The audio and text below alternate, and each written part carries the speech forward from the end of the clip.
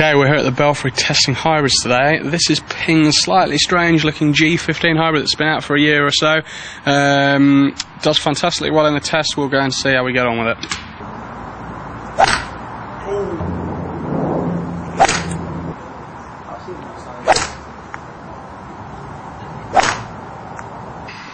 We just had a bash with Ping's slightly unconventional G looking G15 hybrid, mate. Um, could you get past the looks of it? Well, that's what you have to do with this club is get past the looks, um, because when you pick it up off a shelf or out of a bag, the looks are going to put you off um, initially. There, there's no getting away from that. But you've got to get past that, get out onto the range, hit it. Mm. You'll see it's designed this way for a reason. There's a lot of offset, there's a lot of weight in the toe, um, and that basically means that you can hit it higher, you can hit it further.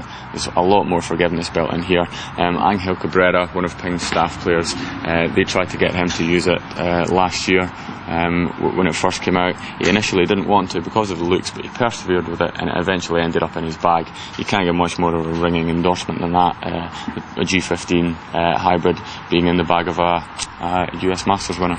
Yeah, absolutely. But uh, like Dave said, it's not just for, for tour players; it's for game improvers. And if you if you do suffer with that killer fade, that card wrecking fade, um, this is definitely going to straighten you out. That weight in the toe will help bring it back around a little bit and uh, and compensate for your uh, for your swing flaws.